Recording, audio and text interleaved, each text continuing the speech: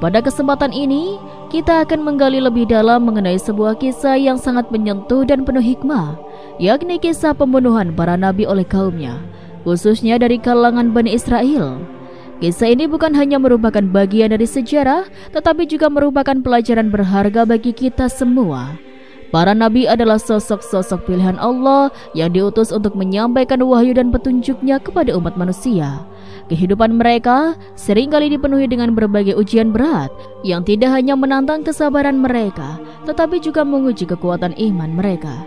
Ujian yang mereka hadapi memiliki tujuan yang mendalam untuk menegakkan kebenaran, menguatkan pesan wahyu, dan memberikan teladan yang jelas bagi umat manusia.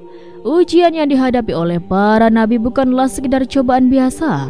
Allah menguji mereka dengan berbagai cara yang sangat ekstrim untuk menunjukkan betapa beratnya perjuangan dalam menegakkan kebenaran.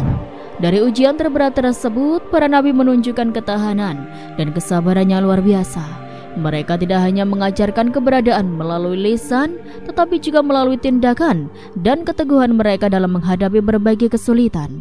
Misalnya Nabi Muhammad SAW pernah bersabda, Sesungguhnya ujian yang paling berat adalah untuk para nabi, kemudian untuk orang-orang yang mengikuti mereka, dan seterusnya menurut derajat keimanan mereka. Hadis ini menggarisbawahi bahwa para nabi tidak hanya diberi ujian yang besar karena mereka adalah utusan Allah Subhanahu wa taala, tetapi juga karena mereka menjadi teladan utama dalam hal kesabaran dan ketabahan. Ujian yang mereka hadapi meliputi ancaman, penolakan, penghinaan, dan bahkan upaya pembunuhan. Namun mereka tetap berdiri teguh dalam menyampaikan wahyu Allah dan berjuang demi kebenaran. Para nabi bukan hanya menyampaikan wahyu, tetapi mereka juga hidup sesuai dengan ajaran yang mereka bawa. Kehidupan mereka dipenuhi dengan contoh-contoh nyata dari prinsip-prinsip agama yang mereka ajarkan.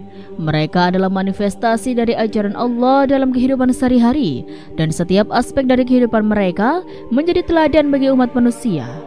Sebagai contoh, Nabi Ibrahim alaihissalam dikenal sebagai simbol pengorbanan dan keimanan. Ketika diuji dengan perintah untuk mengorbankan anaknya, Nabi Ibrahim alaihissalam menunjukkan ketundukan dan kepatuhan yang luar biasa. Bahkan saat diperintahkan untuk melemparkan putranya ke dalam api, ia tidak pernah meragukan perintah Allah. Kehidupan Nabi Ibrahim alaihissalam menjadi contoh keteguhan iman yang harus diikuti oleh setiap muslim. Ujian terhadap para nabi bisa datang dalam berbagai bentuk, dari ancaman fisik hingga penganiayaan psikologis. Berikut adalah beberapa bentuk ujian yang dihadapi oleh nabi-nabi besar. Ancaman fisik dan penindasan. Banyak nabi yang menghadapi ancaman terhadap kehidupan mereka. Nabi Musa alaihissalam misalnya diancam oleh Fir'aun yang berusaha membunuhnya. Begitu juga dengan Nabi Isa alaihissalam yang dikepung oleh pasukan kerajaan yang ingin menangkap dan membunuhnya. Ujian semacam ini menunjukkan betapa beratnya perjuangan para nabi dalam melawan kekuatan yang sangat besar. Penolakan dan penghinaan. Para nabi sering mengalami penolakan dan penghinaan dari kaumnya. Nabi Muhammad SAW misalnya menghadapi ejekan, penghinaan dan penolakan dari masyarakat Quraisy. Mereka diperlakukan dengan sangat buruk, termasuk diboikot secara sosial dan ekonomi. Penghinaan ini adalah bagian dari ujian yang harus mereka hadapi untuk menegakkan agama Allah. Kesulitan dan kemiskinan. Beberapa nabi hidup dalam kondisi yang sangat sulit dan miskin. Nabi Isa alaihissalam misalnya hidup dalam kemiskinan dan tidak memiliki rumah tetap.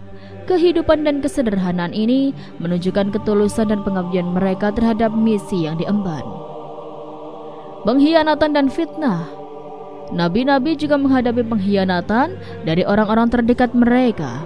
Nabi Yusuf alaihissalam misalnya dihianati oleh saudara-saudaranya dan dijual sebagai budak. Fitnah dan kebohongan yang dialaminya merupakan ujian yang berat dan menguji ketabahannya. Kisah nabi-nabi yang menghadapi upaya pembunuhan. Nabi Nuh alaihissalam dan banjir besar. Nabi Nuh alaihi salam adalah salah satu nabi yang dikenal dalam sejarah Islam karena mengalami upaya pembunuhan dari kaumnya sendiri. Kisah Nabi Nuh alaihi salam dan banjir besar yang meluluh lantahkan kaumnya adalah salah satu cerita paling mengesankan dalam sejarah kenabian yang tidak hanya menggambarkan keteguhan iman dan kesabaran seorang nabi tetapi juga menunjukkan bentuk hukuman sekaligus penyelamatan yang diberikan oleh Allah Subhanahu wa taala. Nabi Nuh alaihi salam diutus oleh Allah Subhanahu wa taala kepada kaum yang telah tersesat dari jalannya. Kaum ini dikenal sebagai kaum Nuh yang hidup dalam kebejatan moral dan kekafiran. Mereka menyembah berhala dan tidak mengikuti ajaran tauhid yang disampaikan oleh Nabi Nuh alaihi salam. Meskipun Nabi Nuh alaihi salam berdakwah selama ratusan tahun, kaumnya tetap menolak pesan kebenaran dan terus dalam kebatilan mereka. Sebagai seorang nabi, Nuh alaihissalam tidak hanya menghadapi penolakan tetapi juga penghinaan dan penindasan dari kaumnya. Beliau berusaha dengan berbagai cara untuk mengingatkan mereka tentang kebenaran dan ancaman azab Allah. Namun, semua upaya beliau tampaknya sia-sia dan kebencian kaumnya semakin memuncak. Mereka bahkan mulai merencanakan untuk membunuhnya sebagai jalan keluar dari peringatan yang terus-menerus mereka terima. Ketika ancaman terhadap hidupnya semakin mendalam dan nyata, Nabi Nuh alaihi salam memohon kepada Allah Subhanahu wa taala untuk tidak mendapatkan pertolongan dan perlindungan. Doa Nabi Nuh alaihi salam mencerminkan kedalaman imannya dan rasa putus asa terhadap kaumnya yang tidak mau berubah. Dalam Al-Quran, Nabi Nuh alaihi salam mengungkapkan permohonannya dengan penuh pengharapan dan keyakinan akan kebesaran Allah Subhanahu wa taala. Ya Rob, Sesungguhnya aku telah menyeru kaumku malam dan siang, tetapi seruanku hanya menambah mereka lari dari kebenaran. Quran Surat Nuh ayat 5 sampai 6. Dengan penuh kesabaran dan keikhlasan, Nabi Nuh alaihi salam terus berdakwah meskipun hanya segelintir orang yang mengikuti ajarannya. Akhirnya Allah Subhanahu wa taala memutuskan untuk menurunkan hukuman yang sangat berat sebagai bentuk pembalasan terhadap kekafiran dan kejahatan kaumnya. Sebagai balasan atas penolakan dan dosa-dosa kaumnya, Allah Subhanahu wa taala menurunkan banjir besar yang melanda seluruh wilayah tempat tinggal Nabi Nuh alaihi salam dan kaumnya. Banjir ini adalah bentuk hukuman yang sangat berat, tetapi juga merupakan bentuk penyelamatan bagi Nabi Nuh alaihi salam dan para pengikutnya.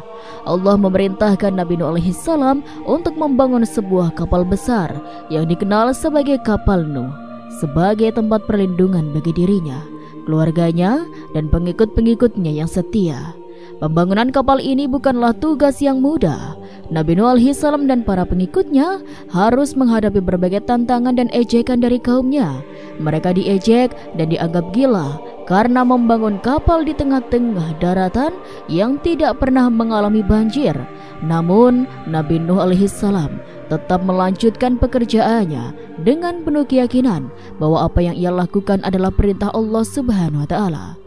Ketika kapal selesai dibangun, Allah Subhanahu wa taala memerintahkan Nuh salam untuk memasukkan semua pasangan hewan yang ada ke dalam kapal serta keluarga dan pengikutnya.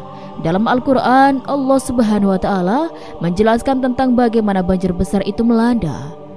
Dan kami buka pintu-pintu langit dengan air yang mengalir deras Dan kami pancarkan bumi dengan mata air Maka bertemu air-air tersebut untuk suatu urusan yang telah ditentukan Quran Surat Al-Qamar ayat 11-12 Air dari langit dan mata air dari bumi menyatu dalam banjir yang sangat dahsyat, menenggelamkan segala sesuatu di permukaan bumi.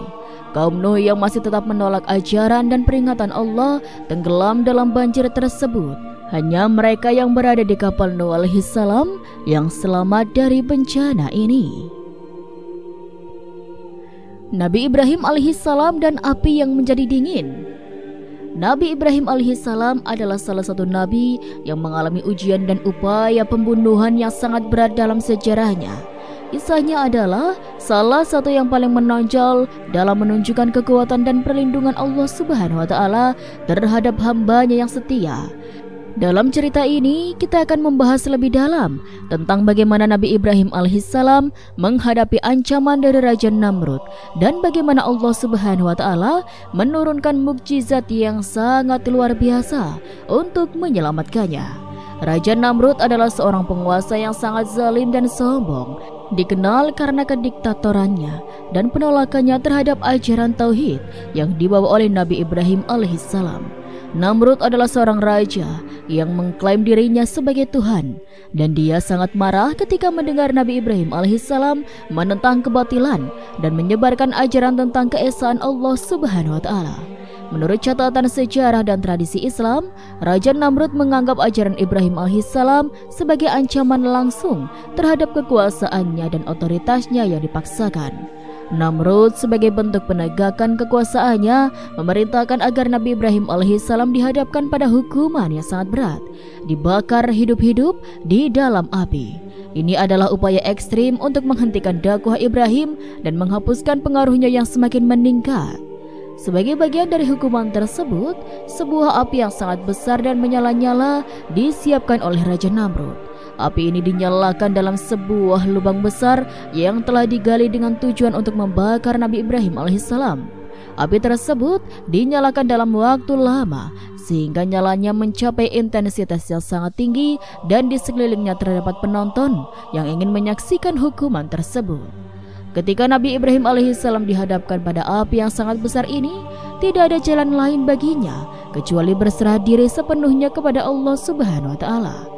Nabi Ibrahim alaihissalam menunjukkan keteguhan iman dan tawakal yang sangat mendalam. Beliau berdoa kepada Allah Subhanahu wa taala dan meminta perlindungannya dari bahaya api tersebut. Dalam momen kritis ini, Allah Subhanahu wa taala menunjukkan kekuasaannya melalui mukjizat yang luar biasa. Allah Subhanahu wa taala memerintahkan api tersebut untuk tidak membahayakan Nabi Ibrahim alaihissalam. Firman Allah Subhanahu wa taala yang terkenal dalam Al-Qur'an adalah Wahai api, jadilah dingin dan selamatkan Ibrahim. Quran Surat Al-Anbiya ayat 69 Perintah Allah ini langsung diterima oleh api bukannya membakar Nabi Ibrahim alaihissalam, api tersebut malah menjadi dingin dan tidak membahayakan beliau sama sekali. Mukjizat ini menunjukkan bahwa kekuasaan Allah Subhanahu wa taala tidak terbatas dan bahwa Dia dapat mengubah keadaan yang tampaknya mustahil menjadi kenyataan yang menakjubkan. Api yang biasanya membakar dan menghancurkan malah menjadi dingin dan menyelamatkan Nabi Ibrahim alaihissalam. Nabi Musa alaihissalam dan kerajaan Firaun. Nabi Musa alaihi salam adalah salah satu nabi besar dalam sejarah umat manusia yang menghadapi salah satu ujian terbesar dalam dakwahnya. Cerita mengenai kejaran Fir'aun yang sangat berkuasa adalah salah satu kisah dramatis yang penuh dengan hikmah dan pengajaran. Ini adalah kisah tentang keberanian, kesetiaan, dan kekuasaan Allah Subhanahu wa taala dalam melindungi hambanya yang berdakwah untuk menyebarkan kebenaran. Fir'aun Penguasa Mesir yang sangat zalim dan sombong dikenal karena kediktatorannya dan penolakan terhadap ajaran tauhid. Dia menganggap dirinya sebagai Tuhan dan menindas rakyatnya, terutama Bani Israel, yang menjadi kelompok yang sangat tertekan di bawah kekuasaannya. Nabi Musa alaihi salam diutus oleh Allah Subhanahu wa taala untuk menyampaikan wahyunya, memperjuangkan keadilan dan membebaskan Bani Israel dari penindasan Firaun. Nabi Musa alaihi salam bersama dengan saudaranya Harun alaihi salam mulai berdakwah kepada Firaun, menyeru kepadanya untuk menyembah Allah Subhanahu wa taala yang Maha Esa dan membebaskan Bani Israel dari perbudakan.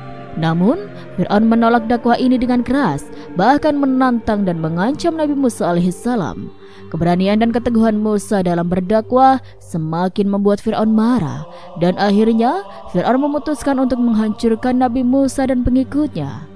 Di tengah-tengah keputusasaan ini, Nabi Musa alaihissalam tetap berserah diri kepada Allah Subhanahu wa taala dan berdoa memohon pertolongannya.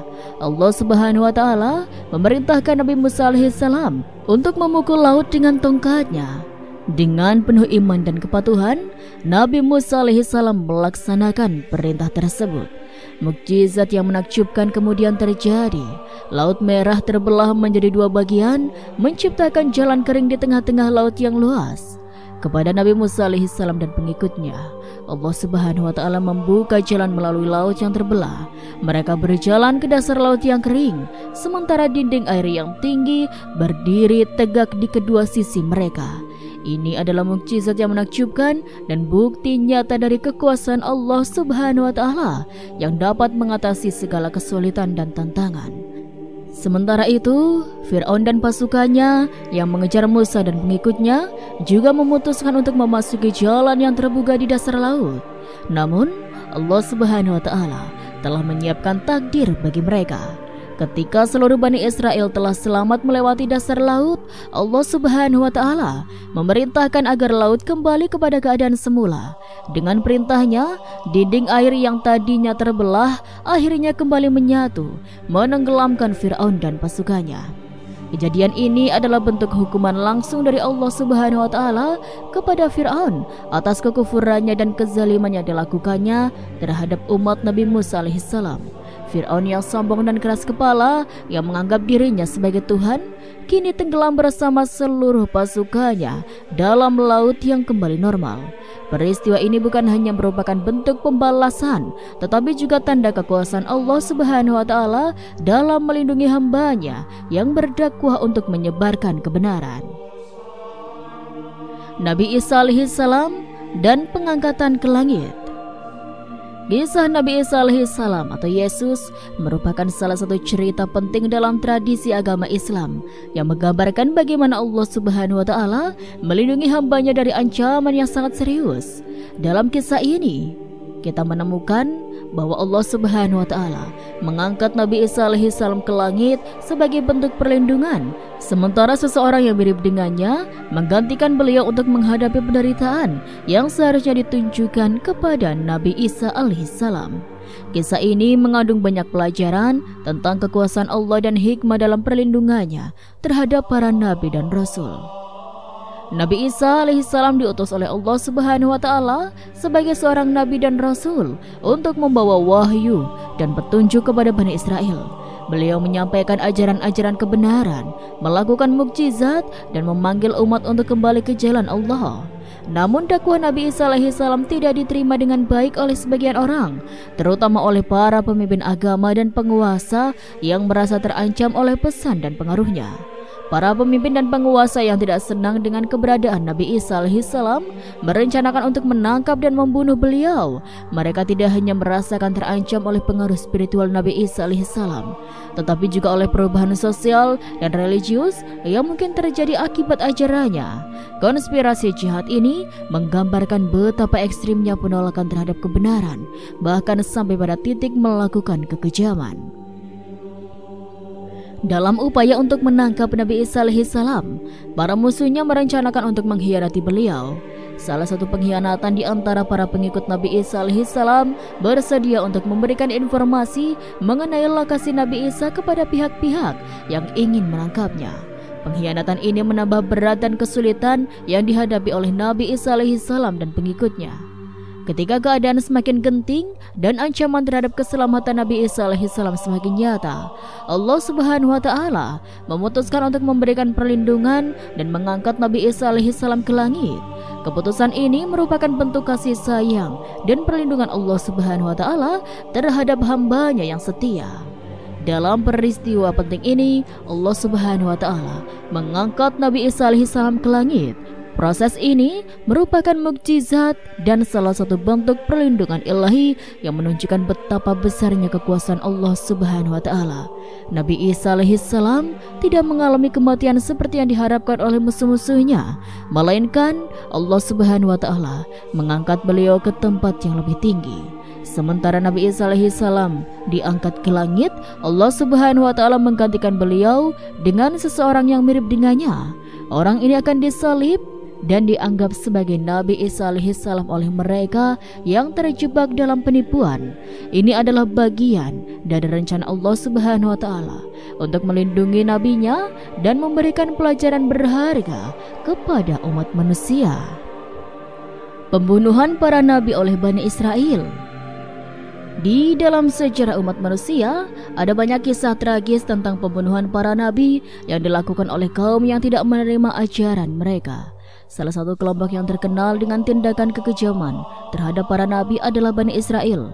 Meskipun beberapa nabi utama seperti Nabi Nuh, Nabi Ibrahim, Nabi Musa, dan Nabi Isa alaihissalam mengalami berbagai macam ujian dan ancaman. Mereka tidak dibunuh, namun banyak nabi lainnya yang menjadi korban kekejaman, terutama oleh Bani Israel. Al-Quran dengan jelas menyebutkan bahwa Bani Israel tidak hanya mendustakan sebagian nabi, tetapi juga membunuh beberapa di antara mereka. Salah satu contoh yang paling tragis dari pembunuhan para nabi adalah pembunuhan Nabi Zakaria alaihissalam dan putranya, Nabi Yahya alaihissalam. Bani Israel adalah keturunan dari Nabi Yakub alaihissalam yang dikenal sebagai bangsa yang memiliki tradisi panjang dalam menerima wahyu dan nabi. Mereka diberi banyak nikmat oleh Allah Subhanahu wa taala dan diberikan berbagai petunjuk melalui nabi-nabi yang diutus kepada mereka. Namun, meskipun mereka memiliki keistimewaan tersebut, sering kali mereka menunjukkan ketidakpatuhan terhadap wahyu Allah. Dan dalam banyak kasus, mereka bahkan menolak dan membunuh nabi-nabi yang diutus untuk membimbing mereka. Nabi Zakaria alaihissalam adalah salah satu nabi yang diutus untuk membimbing Bani Israel. Beliau dikenal sebagai seorang nabi yang soleh yang berdoa kepada Allah Subhanahu wa taala untuk diberikan seorang anak. Karena beliau dan istrinya sudah tua dan belum dikaruniai anak, doa dan kesabaran Nabi Zakaria alaihissalam akhirnya dikabulkan dengan lahirnya Nabi Yahya alaihissalam. Nabi Zakaria alaihissalam menjalankan tugasnya dengan penuh dedikasi, menyebarkan kebenaran dan memerangi kemungkaran di kalangan Bani Israel. Namun keberadaan Nabi Zakaria alaihissalam dan ajakannya tidak diterima dengan baik oleh penguasa dan sebagian masyarakat Bani Israel. Keberadaan Nabi Zakaria alaihissalam menjadi ancaman bagi mereka yang berkuasa dan berambisi. Penguasa yang zalim pada masa itu bersama dengan para pengikutnya merencanakan untuk menyingkirkan Nabi Zakaria alaihissalam dengan cara yang sangat kejam. Mereka membunuh beliau secara brutal sebagai bagian dari upaya mereka untuk mempertahankan kekuasaan dan menutupi kebenaran. Kisah tragis yang lebih memilukan adalah pembunuhan Nabi Yahya alaihissalam, putra dari Nabi Zakaria alaihissalam. Nabi Yahya alaihissalam seperti ayahnya adalah seorang nabi yang dikenal dengan keteguhan iman dan keberaniannya dalam menyampaikan kebenaran. Namun, keberanian dan kejujurannya membuatnya menjadi target kemarahan penguasa yang zalim. Kejadian tragis ini berkisar pada sebuah skandal politik dan moral. Salah satu penguasa yang zalim pada masa itu, Raja Herodes sangat terpengaruh oleh tuntutan dan hasutan dari wanita-wanita yang berada di lingkungannya. Wanita-wanita ini mendambakan kekuasaan dan kendali dan mereka melihat pembunuhan Nabi Yahya alaihissalam sebagai cara untuk mencapai tujuan mereka. Dengan berbagai intrik dan manipulasi, mereka berhasil menghasut Raja Herodes untuk memerintahkan eksekusi Nabi Yahya alaihissalam. Nabi Yahya alaihissalam dibunuh dengan cara yang sangat mengerikan. Beliau dibunuh secara brutal dan kepalanya dipenggal dan dipamerkan sebagai simbol kemenangan bagi para penguasa yang zalim. Pembunuhan ini bukan hanya menunjukkan kejamnya kekuasaan yang korup, tetapi juga menjadi tanda betapa rendahnya moralitas dan integritas penguasa pada masa itu. Nabi Zakaria alaihissalam dan putranya, Nabi Yahya alaihissalam. Nabi Zakaria alaihissalam dikenal sebagai sosok yang sangat bijak dan penyabar. Dia memiliki seorang putra, Nabi Yahya alaihissalam, yang diangkat menjadi nabi sejak kecil. Nabi Yahya alaihissalam dikenal sebagai sosok yang lembut hati, tidak sombong, dan selalu berpegang pada kebenaran. Namun kezaliman penguasa pada masa itu sangatlah besar. Raja Hadad bin Hadar, seorang penguasa zalim, jatuh hati pada putri dari seorang wanita jahat. Meskipun wanita tersebut menikah dengan orang yang tidak sah menurut syariat, raja tetap ingin menikahinya. Ketika Nabi Yahya alaihissalam menolak untuk menikahi wanita tersebut, Sang raja marah dan membunuhnya dengan kejam. Jenazah Nabi Yahya alaihissalam dikirimkan kepada ayahnya, Nabi Zakaria, dalam keadaan tanpa kepala. Nabi Zakaria alaihissalam yang sudah tua dan renta menerima jenazah anaknya dengan penuh kesedihan. Kepala Nabi Yahya alaihissalam kemudian dipajang di atas piring emas di hadapan sang raja dan wanita jahat. Namun Allah menurunkan gempa yang mengguncang istana dan wanita jahat tersebut terperosok ke dalam bumi sebagai balasan atas kejahatannya. kehancuran dan hukuman bagi Bani Israel. Kisah tragis mengenai pembunuhan para nabi seperti Nabi Zakaria alaihissalam dan Nabi Yahya alaihissalam tidak hanya mengilustrasikan kekejaman dan dilakukan oleh Bani Israel alaihissalam terhadap para utusan Allah, tetapi juga menandai titik balik dalam sejarah mereka yang dipenuhi dengan hukuman dan kehancuran Perbuatan zalim dan penolakan terhadap kebenaran yang dibawa oleh nabi-nabi tersebut memicu kemurkaan Allah Subhanahu wa taala yang kemudian memberikan balasan keras kepada Bani Israel. Setelah pembunuhan Nabi Zakaria dan Nabi Yahya, Bani Israel mengalami periode krisis yang sangat berat. Mereka telah melanggar banyak perintah Allah dan menolak wahyunya dengan cara yang sangat ekstrim. Melalui tindakan kekejaman ini, mereka tidak hanya mengingkari ajaran nabi-nabi, tetapi juga mengabaikan tanggung jawab moral dan spiritual mereka sebagai umat yang telah menerima wahyu dan petunjuk Allah Subhanahu wa taala. Sebagai bentuk balasan atas kezaliman mereka, Allah Subhanahu wa taala mengirimkan pasukan Buktun Nasr atau Nebukadnezar II untuk menghancurkan Bani Israel. Buktun Nasr adalah raja Babilonia yang terkenal dengan kampanye militernya yang agresif dan penaklukannya terhadap berbagai kerajaan. Dalam konteks ini, pasukan Buktun Nasr diutus sebagai sarana hukuman bagi para Israel untuk menunjukkan betapa seriusnya konsekuensi dari kezaliman dan penolakan terhadap wahyu Allah. Pasukan Buktun Nasr menyerang Bani Israel dengan kekuatan yang dahsyat. Mereka membantai sekitar 75 ribu orang sebagai bagian dari hukuman yang Allah tetapkan. Penyerangan ini bukan hanya sekedar aksi militer, tetapi juga merupakan bentuk hukuman ilahi yang menunjukkan konsekuensi dari tindakan kejam dan penolakan terhadap kebenaran. Kehancuran dan hukuman yang diterima Bani Israel melalui serangan Buktu Nasar adalah bentuk balasan ilahi yang menunjukkan betapa seriusnya Allah Subhanahu wa taala dalam menanggapi kezaliman dan penolakan terhadap wahyunya. Kisah ini mengajarkan bahwa tidak ada tempat untuk kezaliman dan penolakan kebenaran di hadapan Allah. Ini adalah peringatan bagi semua umat manusia tentang pentingnya mengikuti petunjuk Allah dan menjauhi tindakan yang menyalahi ajarannya. Dengan memahami sejarah dan hikmah di balik hukuman ini, kita diingatkan untuk selalu berada di jalur kebenaran dan menjalani hidup dengan keadilan dan kepatuhan terhadap wahyu Allah. Kisah-kisah ini memberikan pelajaran berharga bagi kita. Mereka menunjukkan betapa pentingnya teguh pada kebenaran, meskipun menghadapi ancaman atau kezaliman. Para nabi yang menjadi korban kekejaman tidak hanya memberikan teladan dalam hal kesabaran dan ketabahan, tetapi juga menunjukkan bahwa Allah senantiasa melindungi hambanya yang setia dan menegakkan keadilan. Kita sebagai umat Islam harus mengambil hikmah dari kisah-kisah ini dan berusaha untuk mengikuti teladan para nabi dalam kehidupan kita sehari-hari. Semoga Allah memberikan kita kekuatan untuk menghadapi ujian hidup dengan sabar dan ikhlas, serta menjadikan kita hamba-hambanya yang setia pada jalannya. Wallahu alam bisawab. Itulah sobat sedikit kisah kali ini. Kurang lebihnya Rizky mohon maaf dan sampai jumpa lagi di kisah-kisah selanjutnya. Sekian, wassalamualaikum warahmatullahi wabarakatuh.